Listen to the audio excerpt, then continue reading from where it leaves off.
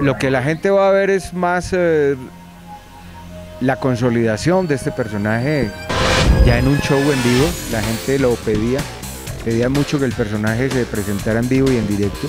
Y lo que la gente va a ver es solo risas, es un personaje muy cómico.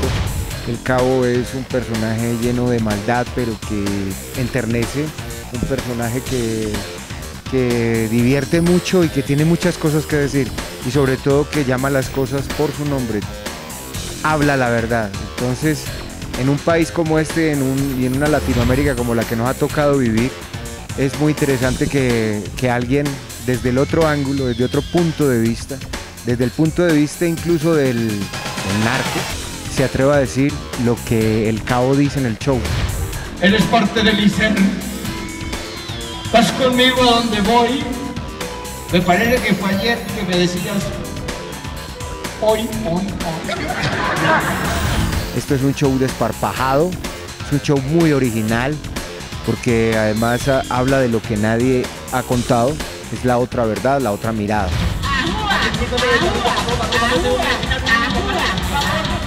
Y me gusta reírme de mí, de mí mismo, de mi propio trabajo, del país, de lo que, lo que está ocurriendo.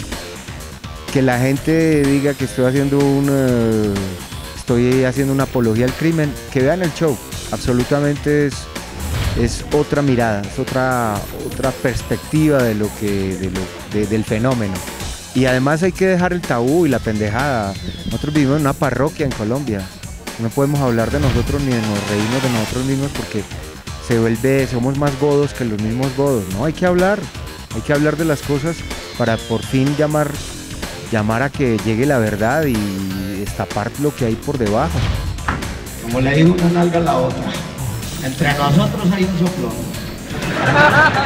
La invitación es para que la gente venga a ver la fiesta del cabo aquí en la casa E de jueves a sábado a las 8 de la noche, para que se vengan a reír, a cagar de la risa con la fiesta del cabo, con Alberto Barrero.